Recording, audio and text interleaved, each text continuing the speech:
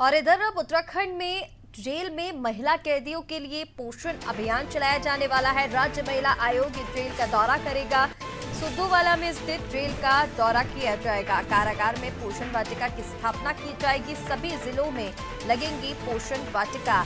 तो अब जेल में महिला कैदियों के लिए एक अच्छी पहल की जा रही है, जहाँ राज्य महिला आयोग जेल का दौरा करने वाला है।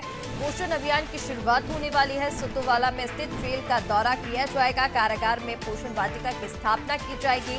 और सभी जिलों में अब इस पोषण वाटिका को लगाया जाने वाला है। एक अच्छी पहल राज्य महिला आयोग की ओर से की जा रही है। और चलिए ज़्यादा अपडेट के साथ सोनू लगातार हमारे साथ बने हुए हैं।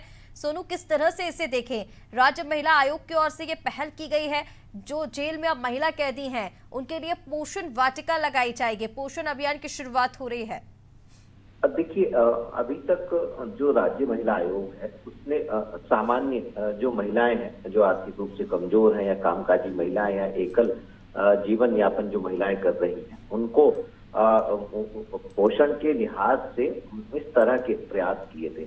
अब ये जो कारागार में बंदी है खास तौर पे जो कैदी के तौर पर सजाए आपका महिलाएँ हैं जो कैद काट रही हैं, वो और जो बंदी हैं, जिनके मामले भी कोर्ट में चल रहे हैं, जो विचाराधीन बंदी है, ऐसी सभी महिलाओं को पोषण के लिहाज से अब राजधानी देहरादून की जो सुद्दोवाला में जेल है, इसका आज राज्य महिला आयोग की टीम दौरा करेगी, वहाँ पर पोषण वाटिका स्थापना करेगी और इसके साथ साथ जो उनके स्वास्थ्य से संबंधित खान पान से संबंधित जो भी व्यवस्था है उसका जायजा लेगी और कैसे इन व्यवस्थाओं को कारागार के अंदर और बेहतर किया जा सकता है आ, इस पर कहीं ना कहीं महिला आयोग फोकस करने वाला है। खास तौर से स्वास्थ्य संबंधित जो व्यवस्थाएँ हैं खान पान की जो व्यवस्थाएँ हैं जैसे मिलेट्स है मोटे अनाज है आ, उनको उनके खान पान में शामिल कराने का पोषण वाटिका को स्थापित करने का और साथ में योगाभ्यास कराने जैसे योगा शिविरों का समय समय पर आयोजन कराना ये तमाम ऐसे वो है क्योंकि चिकित्सकों की टीम भी राज्य महिला आयोग की टीम के साथ होगी। तो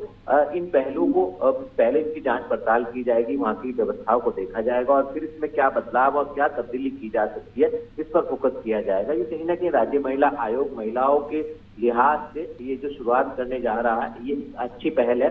आने वाले समय में न सिर्फ़ देहरादून के बल्कि अन्य जो जनपदों के कारागार हैं, जो जेल है, वहाँ पर भी पोषण वाटिका स्थापित किए जाने की उम्मीद की जा रही है।